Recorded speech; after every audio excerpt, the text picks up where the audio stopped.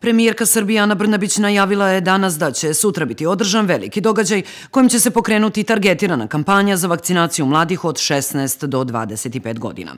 Brnabić je to kazala odgovarajući na pitanje novinara, a nakon uručenja donacije Udruženja pčelara Nurdoru i pedijatrijskim ustanovama širom zemlje, dodajući da će to rezultirati većim procentom vakcinisanih u toj populaciji, gde je procenat vakcinisanih, kako kaže, problematičan.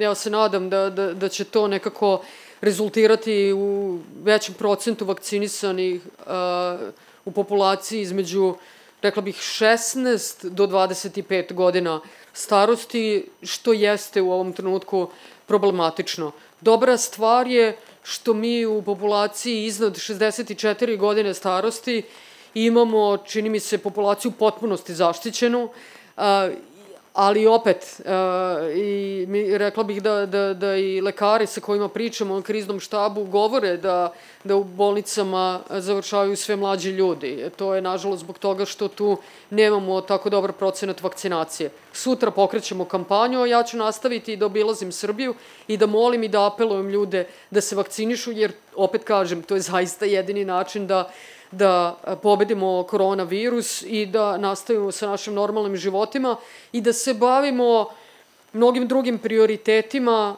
kojima nismo uspeli to u tolikoj meri da se bavimo tokom koronavirusa. Pa na kraju krajeva, evo, kao što sam i rekla, i podršci pedijatrijskim zdravstvenim ustanovama širom Republike Srbije koje su nekako marljivo, strpljivo radili dok smo mi svi se bavili nekim drugim E, problemom ljudi koji se ni u jednom trenutku nisu požalili, ni u jednom trenutku nisu tražili nešto dodatno. Onako, znate, kada jedan tako važan segment društva preuzme sve na sebe i gura hrabro dalje. To, to su bile naše pedijatrijske zdravstvene ustanove. Uh, što se tiče uh, generalno obuhvata vakcinacije, on, on nije loš, dakle on je sada uh, približno 44%, što je dobro, ali tu se ne menjaju značajno stvari. One lokalne samouprave koje su dobre, oni su i dalje dobre. Mi ćemo imati centralne beogradske opštine gde ćemo sad skoro imati 70% vakcinisanih od ukupne punoletne populacije.